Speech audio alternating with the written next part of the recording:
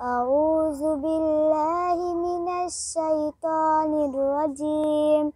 بسم الله الرحمن الرحيم. أرأيت الذي يكذب بالدين؟ فذلك الذي يضع اليتيم. ولا يهد على طعام المسكين. فويل للمصلين. صلاتهم ساهون الذين هم يراءون ويمنعون المعون